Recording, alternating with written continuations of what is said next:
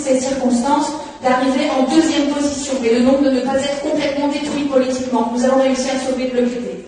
E o grave é que foi eleito no Brasil um neofascista. Ce qui est grave, c'est que c'est un néofasciste qui a été élu euh, au Brésil. Um neofascista que tem por objetivo de destruir a destruição